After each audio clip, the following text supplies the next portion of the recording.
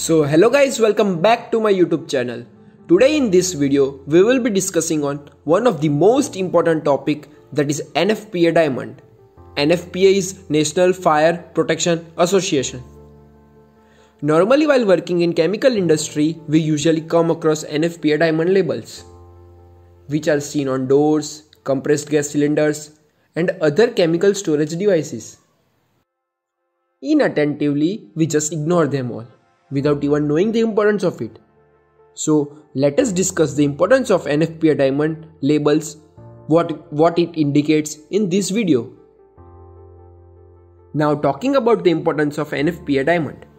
NFPA diamond is of great importance in chemical industry because it provides a system for identifying the specific hazard of a material and the severity of hazard that would occur during an emergency response. It also alerts emergency responders to the presence of the hazardous material and their potential effects and also helps them plan an appropriate emergency response. So now looking forward, what does the label indicates? So as we see in this picture, a rhombus has been divided into four parts and each part has its equal importance. The part which is in red color indicates the fire hazard. The part which is in blue color indicates the health hazard. The part of rhombus which is in yellow color indicates reactivity hazard. And the white part with white color indicates specific hazard. Each part of this rhombus with the colors has number in it from 0 to 4 where 4 is severe hazard, 3 is serious hazard, 2 is moderate hazard, 1 is light hazard and 0 is minimum hazard. So mainly each section of the diamond describes the type of hazard by its color and its severity by its by the number in the space. So firstly the health hazard is indicated by the blue color and the severity ranges from 0 to 4 where 0 denotes normal material which is non-hazardous to our health. 1 in the blue space denotes that the material is slightly hazardous.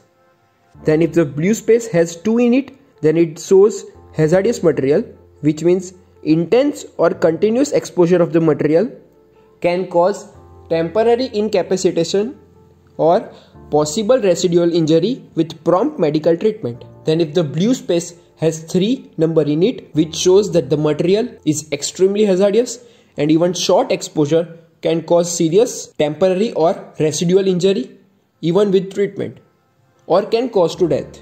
Now lastly if the blue space has 4 in it denotes the material is extremely hazardous and it is deadly. Now talking about fire hazard which is denoted by color red. Here if the red space has number 0 denotes normal material which on exposure to atmosphere will even not burn. Then if the red space has number 1 in it which denotes material is slightly hazardous and material is having a flash point that is greater than 93.3 degrees Celsius and material needs to be preheated before using. Then if the red space has 2 in it shows that the material is hazardous material and the flash point is between 37.8 degrees Celsius and 93.3 degrees Celsius and the material needs to be exposed to relatively high ambient temperature before ignition can occur. Then if it has number 3 in it, shows that the material is extremely hazardous and the material can be ignited under all ambient temperature condition. Now lastly, if the number 4 is there in the space, red space, then the material is extremely hazardous and the material will evaporate at atmospheric temperature and a normal ambient temperature or readily dispersed in air. Now talking about the reactivity risks which is denoted by color yellow. Here if the yellow space has number 0 which denotes normal material which means material is non-reactive.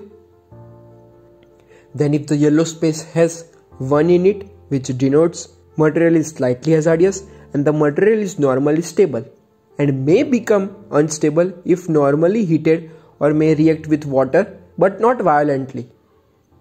Then if the yellow space has 2 in it which shows hazardous material, the material is unstable and readily undergoes violent chemical changes.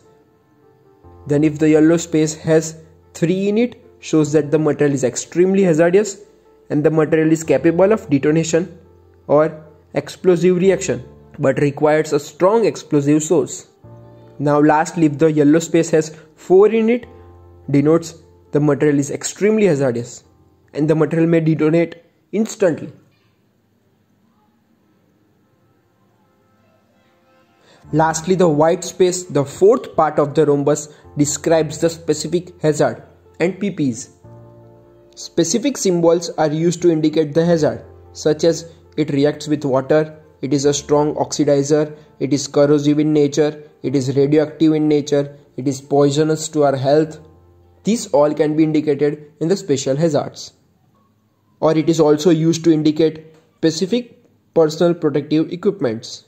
That is, we should use goggles, acid gears, respirators. These two kind of things are being mentioned in the white area that is the fourth rhombus of the NFPA diamond. So guys, that's all for this video. Hope you like this video. Thank you for watching.